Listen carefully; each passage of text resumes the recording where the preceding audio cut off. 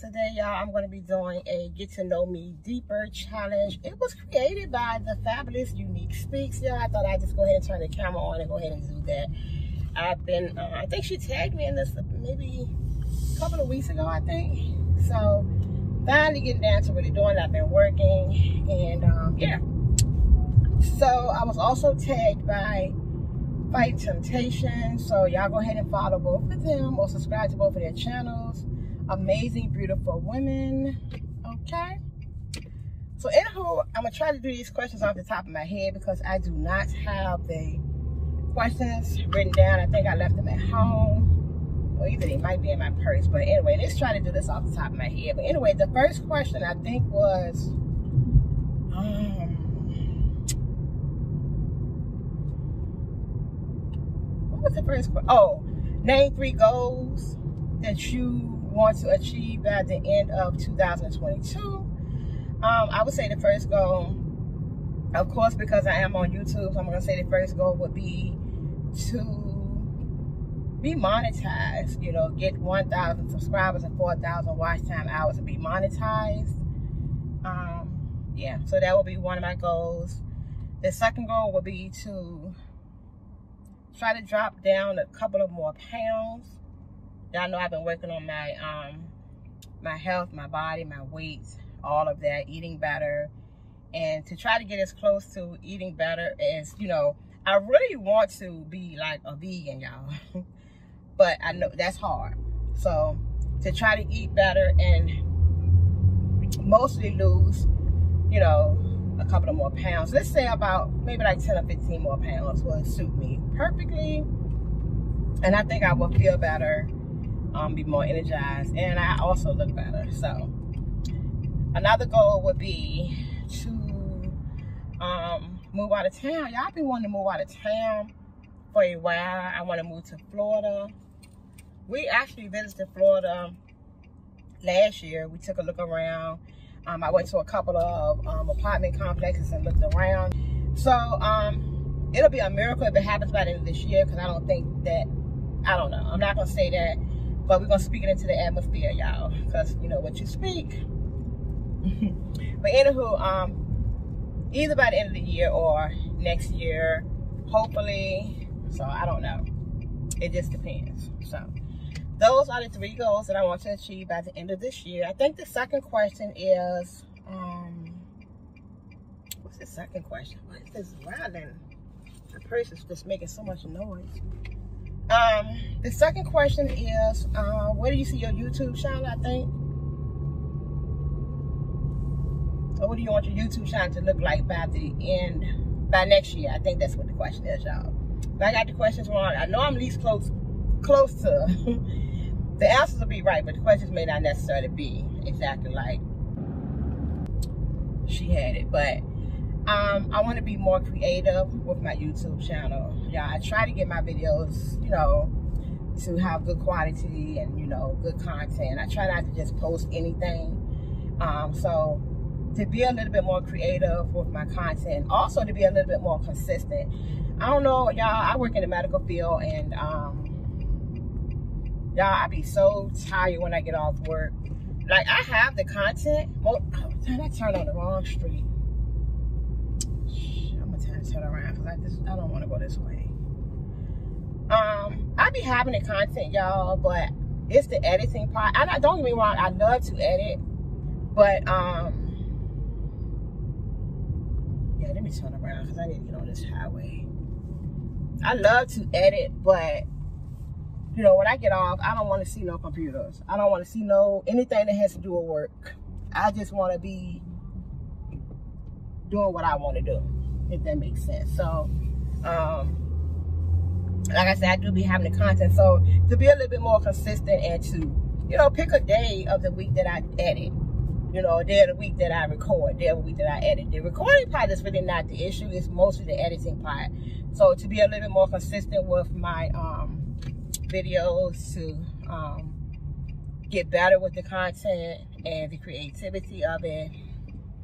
And yeah, and to appeal to a larger audience. So that's what um, I want my channel to look like.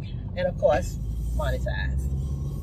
So the third question is name a good trait and a bad trait about yourself and how those traits have affected your life. I would say, um, I'm gonna start with what's a bad trait?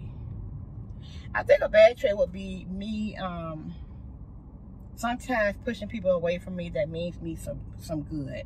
You know, sometimes people can say things or do things that people who didn't really mean me, mean me any good have done, and it kind of like triggers me. And sometimes I will push those good people away. Um, those people really didn't mean any harm. Um, so I think that's a bad trait. You know, just trying to protect myself so much so that sometimes I have a tendency of pushing good people away. That's a bad trait. Um, a good trait I would say is, oh, another bad trait I would say is always caring and wanting to be there for people so much so that um, I tend to neglect myself sometimes. Like I'm always there for people and I don't feel like I get the same return all the time. And I feel like that has affected my life because honestly, I feel like if I wasn't there for certain people the way that I was, I feel like I would be further in life. Like I feel like I have jumped hurdles for people in my life and it wasn't reciprocated. So I feel like I would be further in life if I was focused on myself, you know, and my kids more so than focusing on other people and trying to make sure they're good. So that's another bad trait that I really would say, um, yeah. And a good trait would be, I don't know. I would just say having a discerning spirit uh, when it comes to, you know, people who really don't mean you know good, you know. Um, also, you know, me caring and also helping people, you know, like I said in the bad trait, me always being there for people um, that's one of the good traits that I do have. Even though it can tend to affect me negatively, um, that's still a good trait.